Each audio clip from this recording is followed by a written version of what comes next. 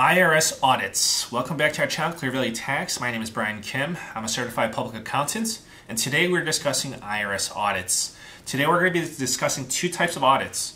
So there are mail audits where all the correspondence is done via mail. The second one is in-person audits. That's where you go to the IRS office, you schedule an appointment, you go there and you hash it out in person with an IRS agent. The third one is a field off is a field office visit, but that's really regarding businesses. That's much more complex where they go to your site or location, and we're not going to be discussing that one. We're going to be discussing the mail audit and the in-person audit where you go to the IRS office. So starting with the mail audit, again, all correspondence is done through mail. So you're going to be getting a letter or you've probably got one that says, We're auditing your Form 1040 and need a response from you. Dear taxpayer, we're auditing your federal return and need additional information to support the items listed below that you claimed on your return. This is what you need to do. And then they're going to tell you what they're looking for. They're going to tell you what you need to do. And they're going to give you a due date. And my first tip is don't miss the due date. There is no reason why you should miss the due date you should have got at least three weeks. It's probably four to six weeks from the deadline that they're requesting. If you miss that deadline, you're talking about resolving this in tax court. That's a disaster. You don't want to end up there. You can just take care of this right now. It's going to be so simple rather than going trying to resolve this in tax court. So do yourself a favor, you know, don't put this off. Try to resolve this as quickly as possible once you get the notice. Okay. So they're going to tell you what you need to do. It's going to literally say what you need to do. So they're generally going to be looking for two things, one or the other, or both. They're going to be seeing if the deductions that you claimed are real, whether they really exist, or did you just create them out of thin air? Are they totally fictitious? So one thing that they might be trying to look for is, are these deductions real? If that's not the case, they might be saying, okay, these deductions that you claimed, we acknowledge that they're real, but are they relevant to you, to your situation, or do you deserve them? That's going to happen. That's going to be the case for certain deductions, for certain credits. So we'll go over that. Okay. So sometimes they just want you to prove that the that the expenses or the deductions or credits are real. In that situation, they're going to be looking for just receipts, any kind of documentation. Receipts are always the best. If you don't, you can use credit card statements, bank statements, any kind of documentation to support your claim. Again, receipts are always the best. But if you can have other forms of documentation, you know, that's that's better than nothing. So that's just a question of did that expense, deduction, or credit exist? So that's one thing. Another thing is going back to what I was saying before that they acknowledge that okay, we are not question we are not questioning that deduction or that amount. We're questioning if it's relevant or related to you and your situation, whether you deserve to claim it. So a situation like this, would be um, let's just say your your small business, your your Schedule C sole proprietorship is getting audited, and they're questioning your meals expense, your business meals expense. They're not questioning your receipts. They're questioning you claim this as your meals expense. We're not questioning that did it occur, did it not occur. We're questioning is this related to your business? And then that's a difference of did it exist versus is it relevant. So basically, depending on the category, they might be looking for things other than just receipts. One example, I'll give you another example. Before people, before the whole tax rule changes, people were claiming that MBA deduction as a job related expense so a lot of times in that situation, they were not questioning the tuition amounts. They were not questioning, did this expense really occur? They were questioning, is this related to your job? In that case, they made you fill out a questionnaire saying, here is your job, here are the tuition expenses, here are your classes. Tell me how these classes were related to your job. And then you would literally have to write a description of each class you took for the MBA and how that's related to your job and why you deserve to claim it as a deduction on your tax return. So it's really a question of you got to identify what they're asking for. Are they identifying prove that this deduction or credit or expense existed? Or are they saying, or are they getting at prove that this was related to your job function or your business function or your business activities? So first you need to identify what they're asking. What are they trying to ask you?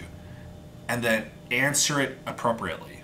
So again, under the this is what you need to do section, it'll tell you fill out this questionnaire that we've included in the envelope, or it'll say these expenses on your Schedule C, these expense categories, basically prove them. Show me the receipts, show me documentation.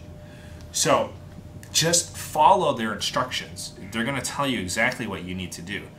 If you have questions, please feel free to leave them below. We'll get we'll get back to you.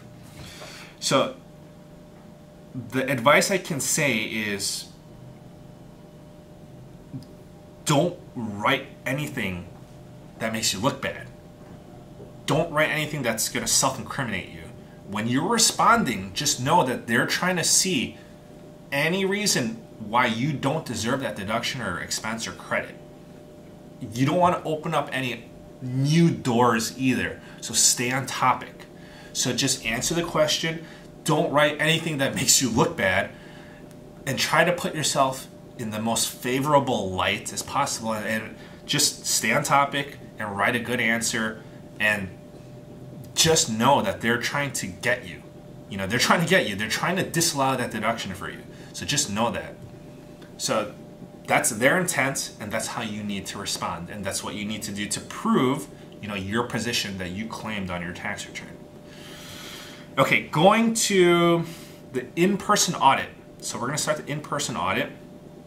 So this is basically a more difficult version of the mail correspondent audit because you're going to be in person with an actual IRS agent. So it's going to be more complex and more involved. So I'm going to give you tips on how to get through this and what you need to do, how you need to act, what are the expectations. Okay, so let me just jump right into this. So when you get an in-person audit request, they're going to say, the letter's going to say, this is what you need to do. You need to schedule an appointment. So, okay, please schedule an appointment. And show up on the appointment day. You don't want to get the IRS upset. So schedule an appointment, show up on time on that day, and then on the letter, it's going to say, these are the issues to be reviewed during the examination. Generally, from what I've seen, they're not going to list everything. They don't want to go through your whole tax return. No. Even if it's a certain schedule or a certain page, they're they don't they're not interested in the whole page or schedule. They're only interested in bits and pieces of that portion of that schedule. You know, for example, if you have a Schedule C, I, I say Schedule C a lot because Schedule Cs are audited the most. So Schedule C is a sole proprietorship or independent contractor or basically a, a small business owner that's unincorporated. So if you have Schedule C, you know, you're going to probably have 10 or 15 or 20 expense categories. They're most likely they're only going to be targeting a handful of those. They're not going to be targeting all your expense categories. And this is where they're going to write it. So they're going to say these are the issues to be reviewed during your examination. So the ones, the categories that are not listed, you don't even need to worry about them. They're not interested in it. That's off topic. Okay, so it's going to also say this is what you need to bring with you to the examination. So whatever is listed, please bring that. Okay, so I'm going to give you tips on what you need to do or what you can expect from the in-person audit. Okay, so the first thing I'll say is that you can bring anyone with you to the audit. You don't need power of attorney. You can have power of attorney, So you can bring anyone, family, friend, your accountant, your attorney, whoever. So you can bring anybody with you and you don't need power of attorney. Okay. You need to prepare yourself mentally because they're out to get you. This isn't I mean, I wish I could say that this was just oh a matter of oh let's try to hash out this misunderstanding. Let, us review this in a, in a cordial manner, you know, sunshine and rainbows. No, it's not the case. Basically, they're out to get you. And you need to defend yourself because basically they're trying to either disallow deductions, they're trying to, you know, they're trying to add more tax to you. You know, I mean, this is their job. This is their job because a lot of times, you know, I mean, I can't blame them. You have a lot of you know, bad characters out there who are just abusing the system with deductions or just making things up. And basically, it's their job to catch those people. And maybe you, you did a little bit of that, maybe you did a lot of that. Basically, they're trying to sort out the bad apples from the good apples. So they're, they're coming in with that mentality. You know, they're trying to get you, see if anything's wrong.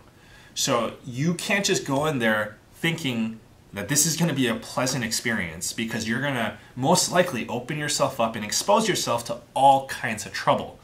And I'll tell you why. Okay. Basically, going back to what I said in the mail correspondence audit, you want to stay on topic. Okay, they, they told you what expense categories that they're looking to review you do not want to go off to a separate expense category and open up a door for them to, you know, examine you further. You know, if they're not interested in your travel expenses, don't talk about travel expenses because you might say something that gets them suspicious or you might you might tell them, you know, erroneously that you did something wrong and you not even knowing it, and then that would open up a door for them to audit that section or category as well. So stay on topic. You will minimize, or you, you want to minimize your self incrimination. You don't want to open up new doors. So don't incriminate yourself. Stay on topic. Okay. So, what is the IRS audit like? It, when you go to the IRS office, you know, you might be thinking that you're going to be in a big office, big cold office room with IRS agents dressed up in suits. No, it's not the case. Usually, it's, for lack of a better word, it's a pretty ghetto experience. It's going to be, you're going to be dealing with one IRS agent in a, a tiny cubicle, and usually their cubicles are just like mounted with there's just papers everywhere. It's it's pretty it's pretty dirty and nasty to be honest. And everything's gonna look filthy and everything's gonna look outdated. Basically, it's it's pretty it's pretty much not what you expect. It's one IRS agent in a tiny little cubicle, and it's just a mess. I mean, I don't know if you had that or picture that in your mind, but that's how it usually is. Well, at least in the Chicago office. okay, so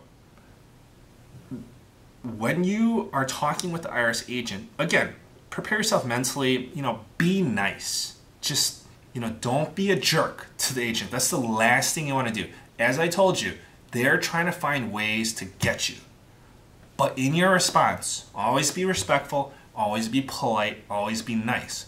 Because if you get on their bad side, I mean, they're going to they're going to find other ways to get at you or they're just not going to drop the case. You know, there's a human element here. So just just be nice. You know, use your use your brain. Be smart. You don't want to piss off an IRS agent. You know, they're just gonna make your life harder. Why would you do that? You know, you're just hurting yourself. Okay, so when you go to the the IRS audit, it's going to be a conversation and they're going to be trying to make you explain your expenses, your deductions, and whatnot.